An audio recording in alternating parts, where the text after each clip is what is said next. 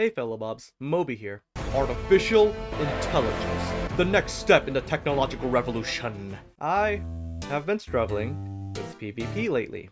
All the casual players have long left, and now it's only the good players. Ugh. My building skills are no longer enough to compensate for my lack of piloting skills, so I turned to AI. I asked three of some of the most advanced AI available to build me the perfect AC.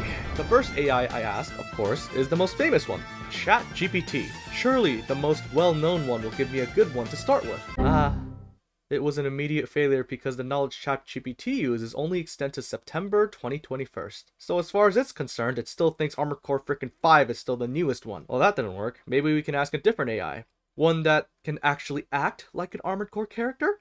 Well, hello, Ayre. More specifically, character AI that thinks it's Ayre. Who better than the voice in my head that calls me Stud Muffin to make me the perfect AC? She keeps telling me that there is no perfect AC. What kind of dumbass AI is this? The fuck is Ayre breaking the fourth wall or something? Fine. I asked her to build the perfect AC, but for me. Let's start with the weapons then. I, uh, huh? Huh?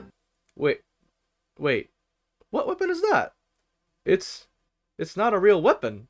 I oh oh everything she says is made up. Okay, well that's two freaking useless AI. Okay, let's try one more. I heard Google Bard is one of the more advanced ones. Make me the perfect AC. it, it actually recommended me an AC with real parts. Like, wait, I'm I'm seeing a problem right away. Damn it. Okay, let's build it best we can. Okay, I'm already seeing some issues.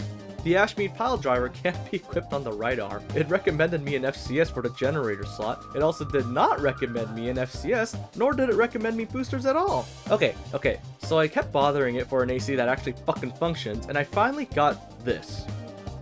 Okay, I was so preoccupied with something that was possible that I never stopped to take a look at the actual build, and oh my god, this was a mistake. Ah, oh, no! Oh, fuck! Ah, oh, ah, ah, ah, fuck! It took me 30 games to get one win.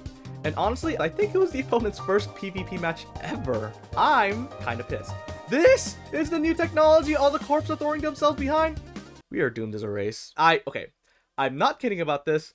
I wrote Google Bard an essay about why its build is bad. Here's what I wrote. This thing is bad. The Ashmead pile driver weapon you recommended is good when an AC has a reliable way to stagger or stun the opponent, such as using the quad leg assault boost kicks or when they have good kinetic weapons. Plus, this particular reverse leg and Ashmead combination does not work because the Ashmead's weakness is vertical difficulty. The Kikaku boosters you recommended. Alright, finally, I made an AC that is better than the one you made. I took it to battle and I already had a much, much better time with it, all while keeping the same type of strategy that the original trash AI made one was going for.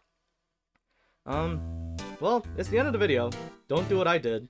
Don't listen to ALLMIND's advice on how to build an AC. I don't care how hot she is. Peace.